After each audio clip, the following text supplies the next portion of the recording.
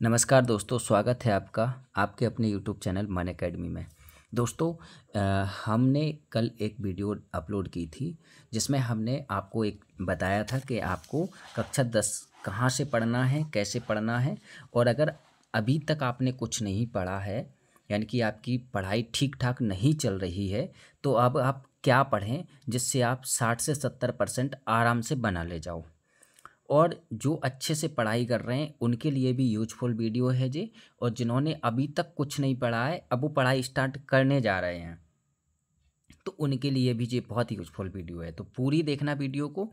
मैं जो चीज़ें बता रहा हूँ, मैंने कल आपको एक अध्याय के विज्ञान के टिक लगवाए थे इस सीरीज़ में। जो सीरीज़ का नाम है परीक्षा पूर्व। ठीक है? बहुत अच्छी सीरीज़ है, कक्षा दस के लिए शानदार है। मैंने आपको एक अध्याय के पूरे टिक लगवा दिए हैं। अगर आपने वो वीडियो नहीं देखी है तो आप जाकर देख सकते हैं। डिस्क्रिप्शन में लिंक डली हुई है। आज हम पढ़ने जा रहे हैं अध्याय दो से। पाठ का नाम है अम्ल क्षारक एवं लवण। इसके इम्पोर्टेंट क्वेश्चन मैं आपको टिक लगवाने जा रहा हूँ। दोस्तों, इसका इम्पोर्टेंट क्वेश्चन है, पहला है, एक्वारेजिया क्या होता है? ये इम्पोर्टेंट क्वेश्चन है और इसको अच्छे से आप याद करना है। दोस्तों, मैं यहाँ आपको क्या बताने जा रहा हूँ? तो मैं आपको यहाँ बताने जा रहा हूँ इम्पोर्टेंट क्वेश्चन जो आपके पूछे जाते हैं हंड्रेड परसेंट पूछे जाते हैं। और अगर आपको विश्वास ना हो तो मेरी पुरानी वीडियो उठाकर देख लीजिए। पिछली साल मैंने जितने भी क्वेश्चन टिक करवाए थे, पूरे के पूरे क्वेश्चन आए थे। तो आपको निसंदेह इस वीडियो को पूरी देखनी है लास्ट तक रहना है, सभी चीज़ें क्लियर हो जाएँगी। और मैं इसमें आपको 2024 वाला पेपर भी करवा दूँगा लास्ट में, ठीक है? तो आपको लास्ट तक रहना है। देखिए, अगला क्वेश्चन है प्लास्टर ऑफ़ पेरिस के दो महत्वपूर्ण उपयोग लिखिए, ठीक है? तो ये दो महत्वपूर्ण उपयोग हैं। प्लास्टर ऑफ़ पेरिस होता है, उसके जो इम्पोर्टेंट ठीक है? अगला क्वेश्चन है, पीतल एवं तांबे के बर्तनों में दही एवं खट्टे पदार्थ क्यों नहीं रखने चाहिए? तो इसका जो आंसर लिखा है, बहुत बढ़िया आंसर लिखे हैं इसमें से। शॉर्ट आंसर है, आपको याद हो जाएँगे। देखिए, और ऐसा है कि अभी तक अगर हमने नहीं पढ़ा है तो इसको पढ़ के आप बहुत अच्छे नंबरों से पास हो सकते हैं, ठीक है? अगला क्वेश्चन है, क्लोर क्षार अभिक्रिया से क्या समझते हैं? ये क्वेश्चन को टिक कर लीजिए। अम्ल एवं अम्ल क्षार सूचक किसे कहते हैं? ठीक है, इसको भी टिक कर लीजिए। बेकिंग सोडा का रासायनिक सूत्र एवं एक उपयोग लिखिए। अगला है, अम्लीय वर्षा कब होती है? कारण एवं इसके प्रभाव लिखिए। ठीक है तो इसके अगर आपके पास सीरीज़ है तो बहुत अच्छी बात है टिक लगाते जाइए। और आपके पास अगर सीरीज़ नहीं है तो आप इसमें से लिख सकते हैं, वीडियो को रोक रोक कर लिख सकते हैं, ठीक है? नेक्स्ट क्वेश्चन है, व्यंजक चूड़ का रासायनिक नाम, सूत्र एवं दो उपयोग लिखिए, ठीक है? तो जो इसका नाम है, सूत्र लिखा है, दो उपयोग लिखे हैं। अम्ल क्षार में अंतर इम्पोर्टेंट है, इसको अच्छे से याद कर लेना।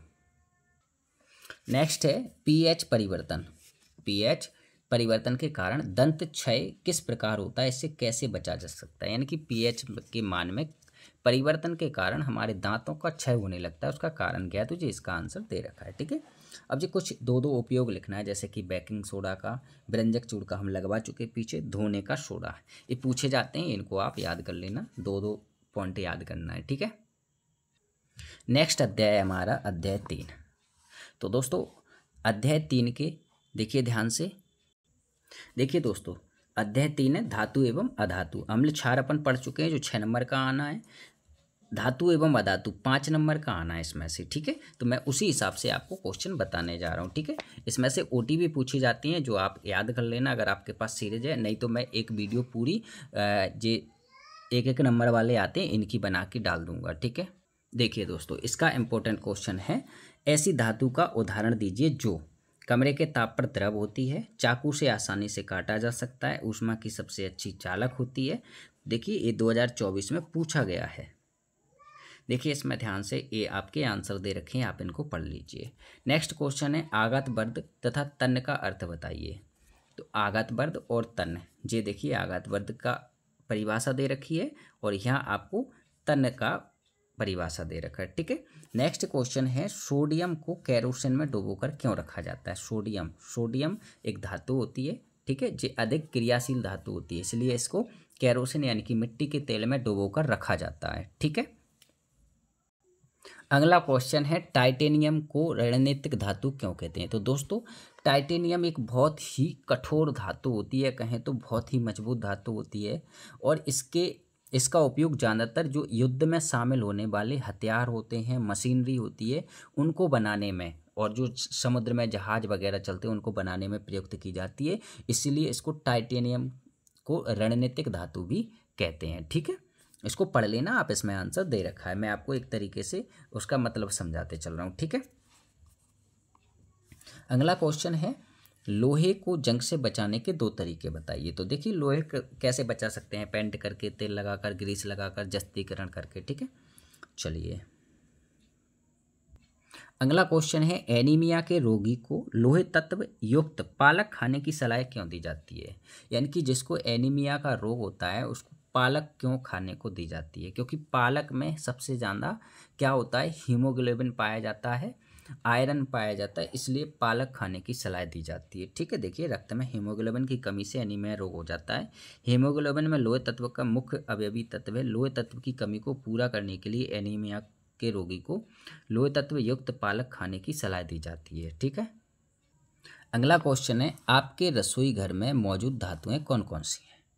तो रसोई घर जहाँ हमारा खाना बनता है, उसमें कौन कौन सी धातुएँ होती हैं? सीधी सी बात है, तांबा होता है, लोहा होता है, एल्यूमिनियम होता है, इसी के तो बर्तन होते हैं हमारे, है ना? और जिनमें हम खाना बनाते हैं। अगला क्वेश्चन है, सक्रियता श्रेणी से आप क्या समझते हैं? तो सक्रियता श्रेणी, जो आपके सामने आंसर दे रखा है, इसको आप पढ़ लीजिए, लिख लीजिए। अगला इंपॉर्टेंट क्वेश्चन है, देखिए दोस्तों, जो पूछा जाता है। निम्नलिखित पदों को परिभाषित कीजिए। सबसे पहले खनिज क्या होता है? अयस्क क्या होता है? गैंग क्या होता है? ध्वनिक क्या होते हैं? जी, आते हैं, पूछे जाते हैं, इनको आप याद कर लेना।